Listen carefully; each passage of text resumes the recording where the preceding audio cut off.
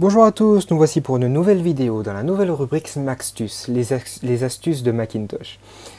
Aujourd'hui, nous allons nous intéresser à un service caché, ou bien peu connu, je dirais, du Spotlight. Le Spotlight, je vous rappelle, c'est la loupe située en haut à droite de la barre du Finder, qui est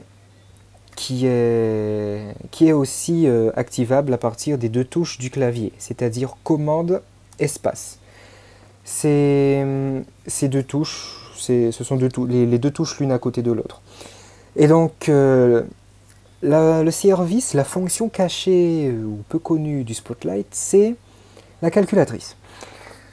Au lieu de sortir la calculatrice de votre tiroir, aller dans votre dashboard ou encore chercher dans votre, dans votre dossier application la calculette, la calculette.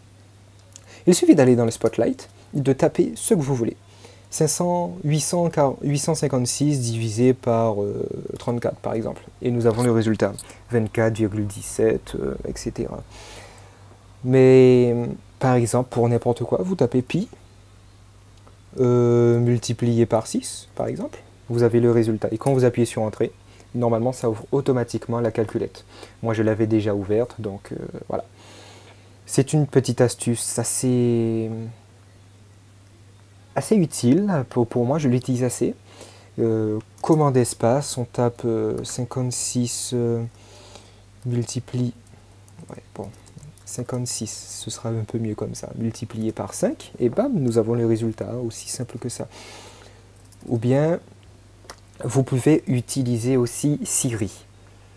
Mais ça, nous allons le voir dans une autre vidéo. Je vous remercie, vous pouvez poser des questions dans les commentaires, mettre un pouce bleu, regarder une autre vidéo. Merci beaucoup, bon merci du visionnage.